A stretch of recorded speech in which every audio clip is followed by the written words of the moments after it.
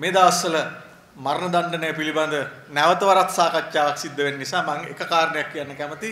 ජනාධිපතිතුමා මේ දවස්වල ලහි ලහියේ මිනිස්සු එල්ලීමේ පිළිබඳ කරුණු කතා කරනවා. ඒ පිළිබඳව යම් යම් කොටසක් ඒ පිළිබඳව ඉතාම වැදගත් ලෙස අවශ්‍ය දෙයක් වශයෙන් දකිනවා.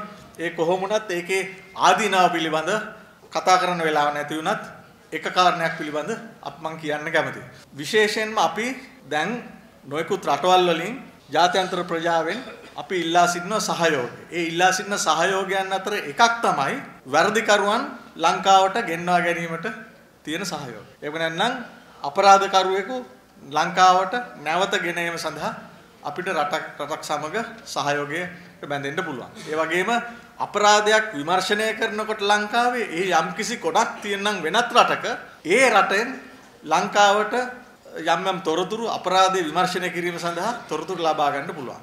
අමතක කරන්න එපා ලෝකේ රටවල් අති විශාල සංඛ්‍යාවක් ඒ වගේ අවස්ථාවන් වලදී අං ලංකාවේ මරණ දඬුවම ක්‍රියාත්මක කරනවා නම් ඒ සහයෝගය නොදෙන එක ජාත්‍යන්තර ප්‍රතිපත්තියක් බවට පත් වෙලා තියෙන එක අමතක කරන්න එපා. ඒ නිසා මම හිතන්නේ මේ දුර බලන්නේ නැතුව ගන්න තීරණය මගින් අවසාන වශයෙන් ලංකාවටම තමයි මේ පාඩුව වෙන අපිට හරි හරි ජොලි සමහරලාවට මේ මේව ගැන කතා කරනකොට. මොකද මම හිතන්නේ අපි මේ යම්කිසි ආකාරයක වැඩිහිටියන් වශයෙන් ඒ වගේම ලෝකයේ අනෙකුත් රටවල් වල වෙන සිදුවීම් සිද්ධ වෙන දිශානතිය දිහා බලලා මේ වගේ තීන්දුව ගන්න ඕනේ. ඒ නිසා මම හිතන්නේ